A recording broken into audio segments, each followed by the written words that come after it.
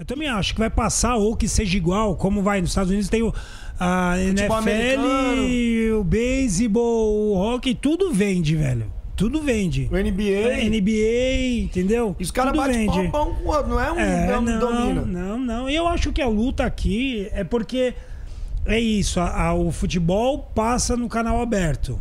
Sim. Um evento mundial, vai. Um evento. Ou que seja o futebol brasileiro, porque daí já tem tantos anos, o negócio já é tão grande que o próprio campeonato estadual já traz audiência. Sim, sim. A, a luta, ela. Cara, agora tá começando a acontecer isso. Então, quantos anos vão levar? Não vão ser muitos anos, como demorou pra acontecer com outros esportes. Por quê? Porque o mundo tá globalizado, internet. Hoje todo mundo tem acesso à informação, como você tá falando. Chega muito rápido. Você pode ter um canal hoje. É, chega, é, chega muito rápido tudo. Chega né? Tudo a informação muito chega rápido. muito rápido. É isso aí. Por isso que o Muay Thai também não é mais unanimidade, é Tailândia. Então, é o que eu falo. Hoje o Muay Thai, falando de Muay Thai, né, mano?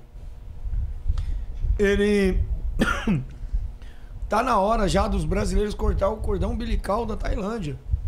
Que é aquilo que eu falo, pô, mano, na Tailândia é assim, a gente tem que fazer igual. Não, irmão. Não. A gente tem que começar a pensar do nosso jeito. A regra, beleza, não precisa mudar a regra.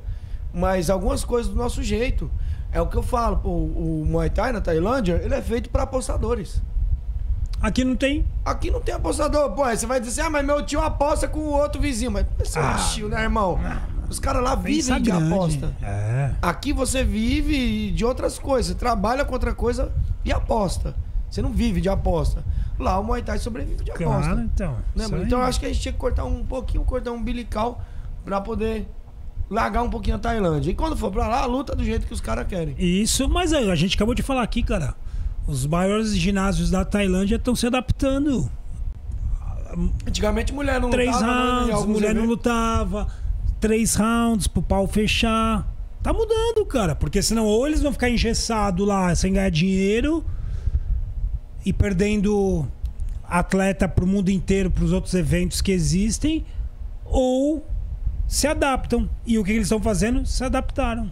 É, então você Ué, tem... o One, olha o que o One faz, velho. Os caras, pra mim, é o evento mais louco que tem.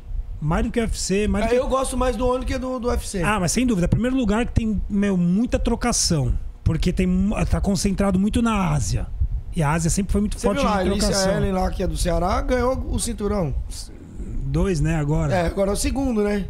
Ou seja, pô, e a mina E lutando... ela quer o terceiro, né? Eu vi E uma entrevista trazer- dela e de que ela, ela quer o do kickboxing agora. É, e vai trazer, mano. Ela tem capacidade Vai, pra claro isso. que tem, claro que tem. E é um baita de um show que o cara faz. É, é eu acho muito mais interessante do que o UFC, porque é mais trocação, né? Não tem nada contra o jiu-jitsu, mas não, Não, não, tem o chão. O chão, mano, é pra quem gosta daquilo, é, É, específico. isso. Não, é chão super eficiente, mas como entretenimento. É específico, o chão ele é específico. É tipo assim, é o cara do jiu-jitsu que gosta, é o cara do wrestling que gosta. Mas o público leigo Não, quer ver o pau no quer chicote? ver o pau torar, ele não É, quer saber se o cara fez tantos pontos, Não. se o cara lutou na regra, ele quer, Quer ver ver inchado, quer ver isso aí.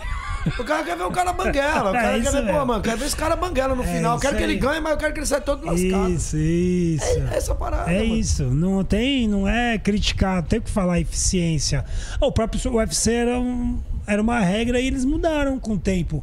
Vê se fica aquela luta amarrada no chão, não fica mais. Os caras mandam levantar, velho, porque senão não vende. É, se ele vê que não tem finalização, não tem nada no braço, não vai quebrar alguma Vai coisa, demorar muito pra ganhar uma posição, chegar numa posição os caras levantam. le- manda levantar. E aí e outra coisa, né? O ano eles fazem no mesmo evento Muay Thai de luvinha, kickboxing, Muay Thai tradicional, MMA Sim. e até submission. Pô, os caras tacam pra tudo que é lado, meu. E tá fazendo bem. E tá fazendo bem. Tudo que eles estão fazendo, fazendo bem. Você acabou de assistir um corte do Camisa de Força. Para assistir esse conteúdo completo, basta clicar no primeiro link que está na descrição ou procurar por Camisa de Força Podcast no YouTube. Interrompemos nossa programação para transmitir o horário eleitoral gratuito obrigatório de propaganda eleitoral, sob responsabilidade dos partidos políticos. Vou cagar.